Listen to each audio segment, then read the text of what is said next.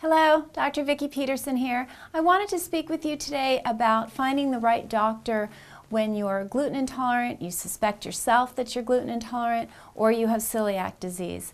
I hear constantly from people all over the country, all over the world for that matter, who um, either have been diagnosed with celiac disease or suspect gluten intolerance based on how they feel They've done an experiment, they've removed gluten from their diet, they've improved dramatically, and they, they know they need follow-up. They know they need more, um, but they don't know what to ask for or how to find the right doctor. So um, it's a very good question. I wish I could tell you that these kind of clinicians are everywhere and easy to find, and unfortunately it's quite the opposite. Um, they're, they're, not easy to find. There's not a lot of clinicians that uh, do the in-depth work that should be done to really work with someone who is gluten intolerant, whether they have celiac disease or gluten sensitivity.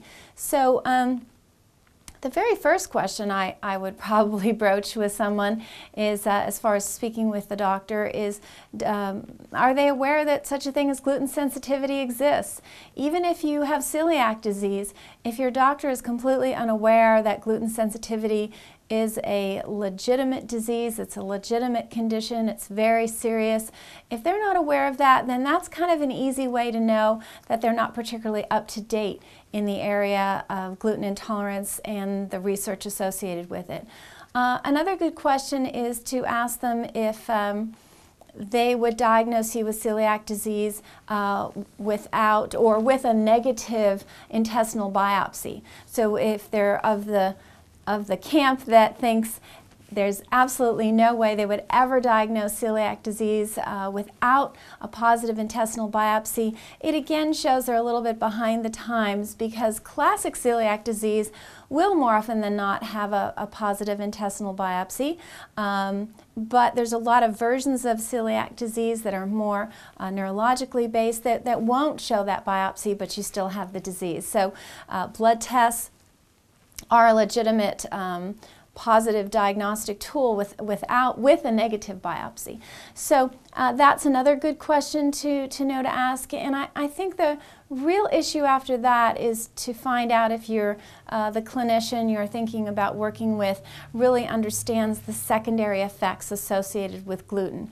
Do they understand it creates a leaky gut? Do they have a protocol for how to heal a leaky gut? How to determine how serious the leaky gut is, so what lab tests they use, and how to heal it? Uh, do they know to look for uh, hidden infections, as we call them, in the intestinal tract that will keep a gut permeable? Do they know how to measure for probiotics so that they can see if you have a good balance or not? Do they test for nutritional deficiencies?